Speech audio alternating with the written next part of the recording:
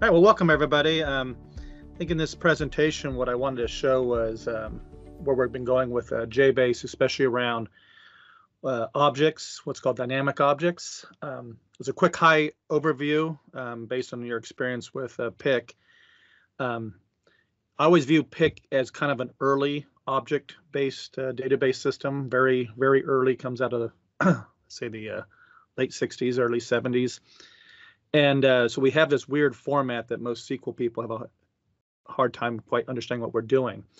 But when we look at the newer object syntaxes, um, it's a little easier to explain what we're doing. Um, and a lot of what we're going to be demonstrating here is the technology we're putting in place is to say, hey, if we can take a pick object and and uh, show it as a uh, more of a JSON style object, then things get uh, a lot easier and we can communicate with a lot of platforms, especially around the new RESTful interfaces and stuff. So I have a lot of videos that talk about that. But what I want to talk about here is, is new technology we've been adding to JBase to make that type of development much easier. So in this session view, I'm going to take uh, a few slides we did from Zumapalooza last year that talks about a high level overview. And then I want to jump right into a uh, real world uh, example showing RESTful services and where this technology really makes it much easier and where you have kind of a future where you're going with the PIC platform. Based on the audience I have here, if you're on a pure PIC side, um, this kind of helps explain objects in comparison to what PIC is. If you're already from like the Java or C sharp world, um, you already kind of understand this stuff, but it'll help you understand what type of objects and classes we are offering now in JBase. So, you know, first of all, what is an object? You know, it's really a structure. It's really an organizational structure around your your functions and your your database methods and your structure of your objects. Um, an object can have both properties and values, which, like in our PIC worlds, are attributes and our values. But also you you put your behaviors. You know, in our PIC world, we call these our subroutines, but we of course have those all over the place in our system. What's nice in an object system is that you actually if you have an order object, you'd actually put your things like a calculate tax or or read the order or write the order would all be methods within your object. Um, the objects in JBase are are pretty simple. They're much more comparable to uh, JavaScript objects. They're uh, not uh, highly typed objects like a C Sharp or Java. Um, well, We'll slowly move more that direction the same way JavaScript is, but right now we want to get just the basics implemented in the platform.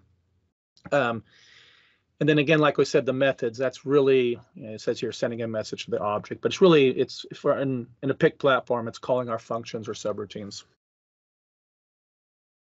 So, you know, there's actually two pieces that we had to add to the platform is, is first of all, we need to have a an actual object data type, which is um, very comparable, like I said, to a JavaScript object for the for the pick audience. Our pick multi-value record structures are our objects, uh, other platforms objects. The big difference is they have a much more nicely named structure than we have.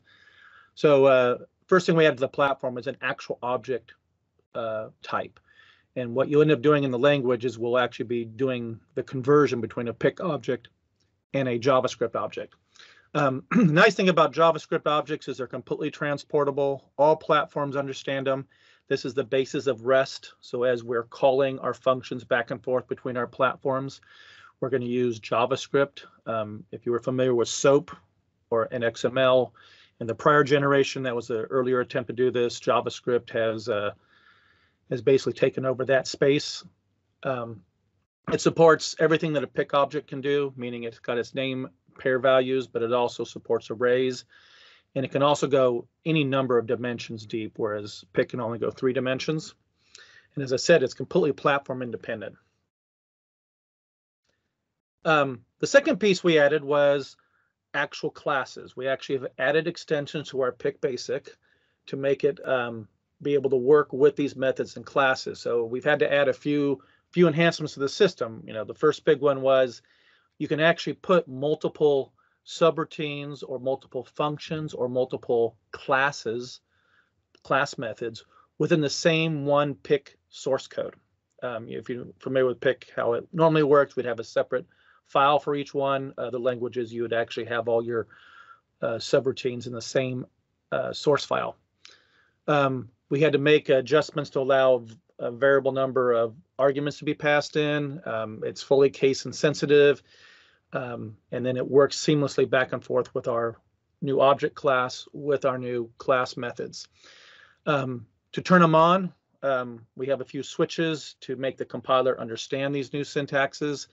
Uh, you can either use a, a .jabba extension on your code, which usually is hard because you have to rewrite a lot of your code that way.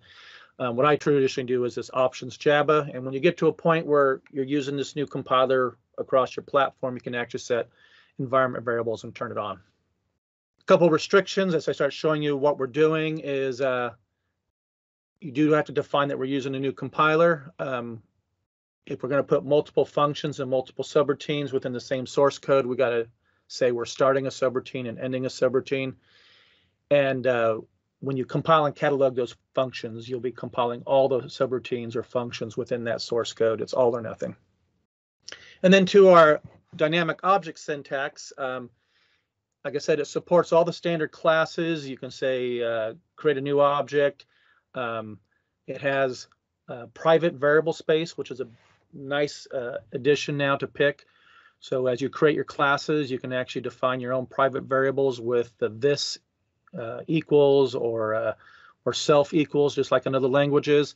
One big thing is is that we're our syntax for for doing the uh, operator between those things is a dash gator versus a dot, and we so we're much more like a, a um, C++. And of course, that was a requirement if you've uh, ever seen pick coding. We use dots in our field name, so we couldn't use a dot operator like you'd see in C Sharp or uh, or Java or uh, or JavaScript. So it's a dash gator. And to see just a quick example what this ends up looking like, you can see right here in pick basic that we defined a new object. Um, again, this is more like JavaScript objects, so you can kind of build them on the fly. Um, in this case, we created a colors. It's a new array. We append some values into the array. We can uh, set booleans. We had to uh, put in features to support variable types that pick doesn't uh, recognize, things like nulls, booleans. Um, those are all in there. And then as you can see in this code, we uh, punch it right out to JSON at the end. And that's really the, the key that we're looking for here is when we start doing RESTful interfaces and start talking with other platforms, we have to be able to take and convert and create these JSON objects and be able to consume these JSON objects. So this is really the, the main piece that I needed on the platform initially when we we're doing RESTful stuff. And then the classes are just a really nice addition on top of all that. Um, now that we have classes and objects in the system, we're actually starting to expose more of the internals of PIC and JBase through those classes. We have built-in methods now. Um, this iterator is is kind of the version of a for each command you'd see in other languages. So if you wanted to, you could actually say, hey, do our loop statement against the iterator object, um, and then pull the next object, which would let you iterate through an object. Typically in pick, we would do a, a, a DCOUNT and, and find out how many items are in there and, and do a loop incrementing through. But it's nice to start getting some of these other syntaxes. And again, these are these are things we're adding to the system that as we get to the next generation of developers, we're getting the the uh, the commands and stuff that they're used to seeing in the platform. Um, I want to go through these slides pretty quick because I want to jump uh, as fast as I can into a real world example and start showing um, actual database functions working on here. So um, this final thing is, as we're building these objects, you know, classic object and class design is, is you want to get very small methods that perform one and only one function, um, lots of little pieces. Um, one nice thing about objects is they are kind of self-documenting and and as you see other things we're going to do in the future which is maybe getting code complete um, being able to use visual studio code and other nice new editors a lot of this class definition is designed around making the IDE work better, meaning it actually understands your order object now and can actually um, help you correct your code as you're typing, but it needs to have these objects which are self-documenting to be able to do those type of tricks that you'll see in a Visual Studio with C Sharp and, and Java, where those languages are really nicely typed. They explain their objects very nicely. And then that is, that's the IDE, help you do uh, code complete, fix your code, catch errors, and all that type of stuff. So with that said, let me jump right into really what I want to show here, which is how this actually ends up being implemented. And the first big item that we're all doing now is we're creating RESTful in endpoints and exposing our system out. Now, as we um, are either building new UIs or building integrations on the platform, REST is the de facto way of doing this. And we've had both MV Connect, which is cross-platform for all the PIC platforms, to help you create RESTful endpoints. And what I like to point out is, you know, we already have subroutines and functions in our system. REST is a way for us to expose those functions out to a Angular or a C Sharp developer to go and build um, interfaces. So what we end up having to do is build a, a RESTful endpoint with its router, and we have to be able to both consume JSON and produce JSON. And before we had objects, this is what the code would end up looking like. We would have a pick function where we were going to build an object, and we had this object subroutine, and it's available on all sub platforms where you would build a JSON object. And again, I hope uh, you guys have seen and understand what a JSON object looks like, but this is the code where I'd be taking a, a, a pick record and converting it over to look like JSON. And this is what the code would end up looking like. And to demonstrate what we're talking about here is in pick, we would have a an order and all the pick guys would recognize this. Here is a standard report where I'm showing some pick data, but we all know that the problem with pick is that the data actually looks like this.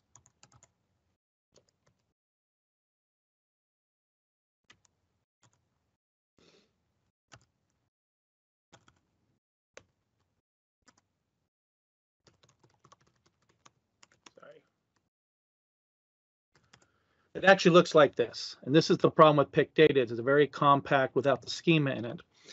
And so the what we're trying to get to is a point where we can produce this pick data automatically to look like JSON, which is what everybody else wants to uh, see. So the code I was just showing you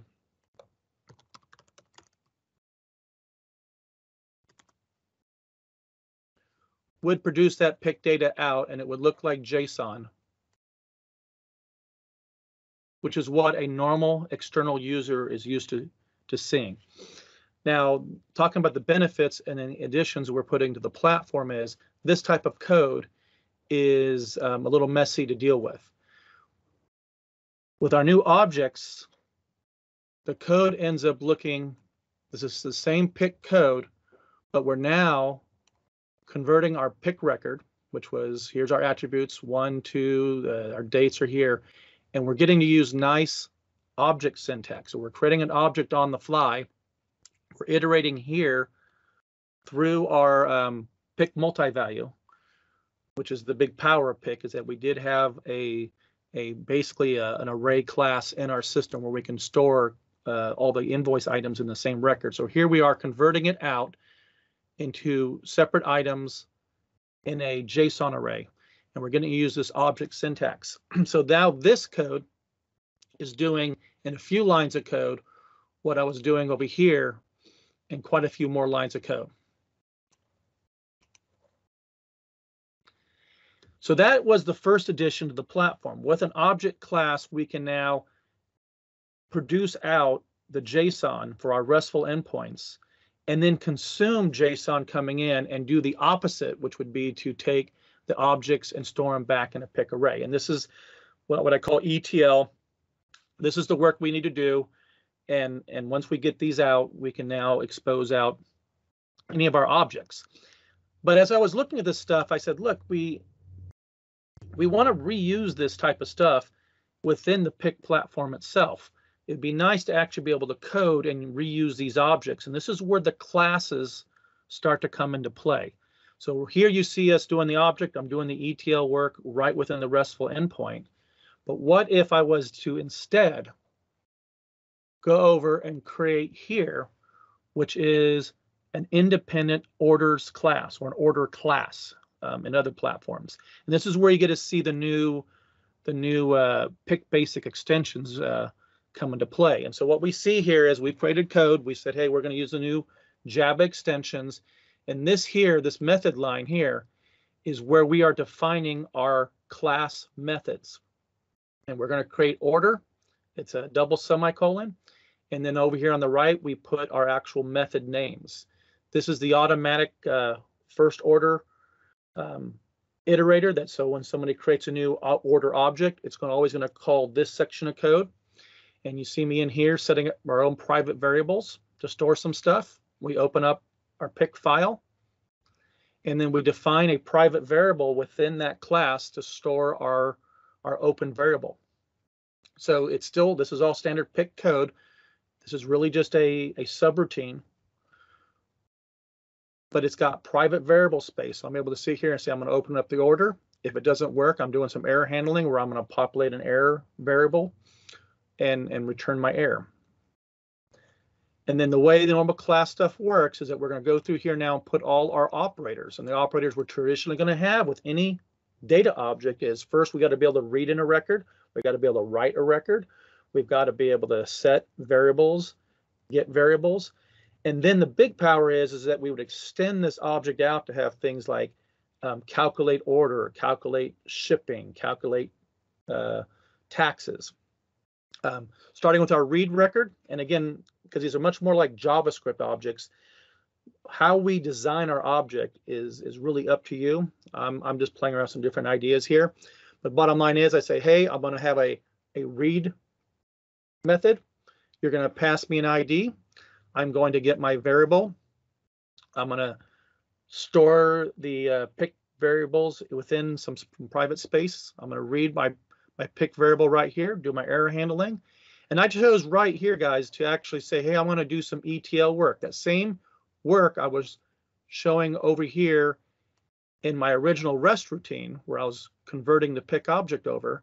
I'm doing it here now within a class library because I can then reuse it. So I'm going to sit here and do exactly the same work, convert a, and create an object of my pick object. And I just chose to store it in a sub object within the uh, within the class here. Then I created a little method here that says, hey, I can return the, the pick raw record if you really want it. Um, and then I do the exact opposite and I create a write method where I'm basically converting the JSON object back to a pick record. So you see me right here, pull back in there. Um, we had everything stored in here in our object record, so I'm putting it right back into a pick record. Here is how I can iterate now through a JSON object where it's storing all our uh, uh, product lines, rebuild our pick record, and write it back out to disk. Here's a delete method. I'd, I'd put in here to delete the file. I haven't done anything.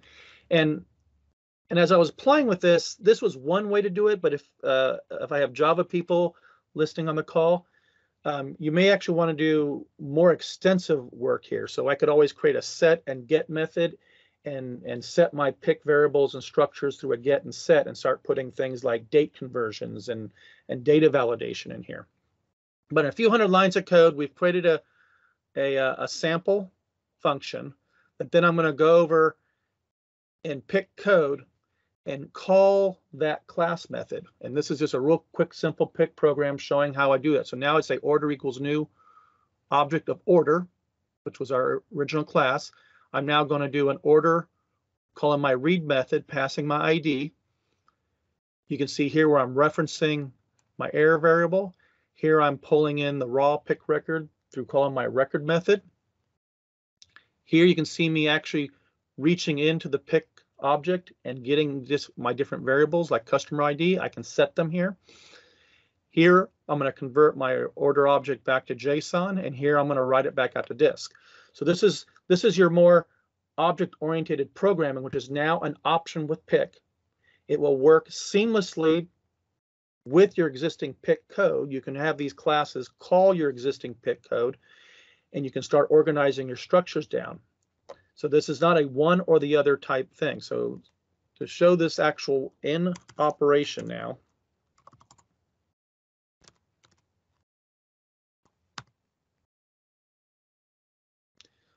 I call it test order object, test order object. And you'll see now when I ran that routine that I had told it to print out the result code. I told it to print out the customer ID. I told it to now take that object I created and convert it to JSON.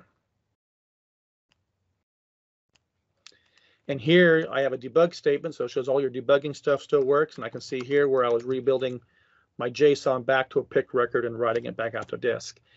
Now, you know, where do I want to go with this and what's the big benefit that I get with that type of, of coding is I can now go back to my RESTful endpoint code that we were doing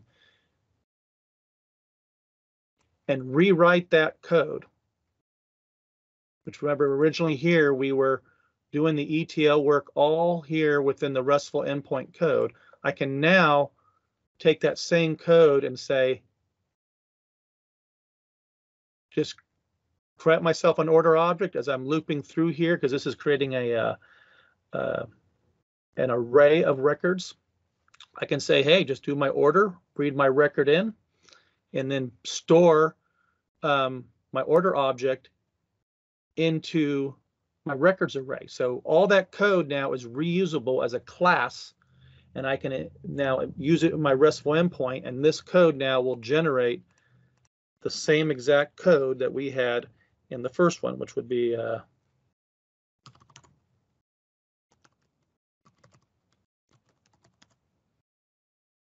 and now that same routine is producing JSON the same way the other function was running. So yeah, I, I ran through this pretty quick, but I wanted hopefully that gives a pretty good understanding of, of what we're trying to bring to the platform and uh, and what classes and objects bring to you and why they're so important. Whereas we're trying to build out the pick data, and our real goal is to get to a point where once these classes are in, because this is a good way that we describe our data, that then I can get to a point where we can actually start uh, doing things such as when you see me do a version of our sort verb, which is now on the fly generating JSON. The truth is behind the, the scenes, I'm calling that same class library to generate my, my JSON output. So again, thank you for watching and have a great day.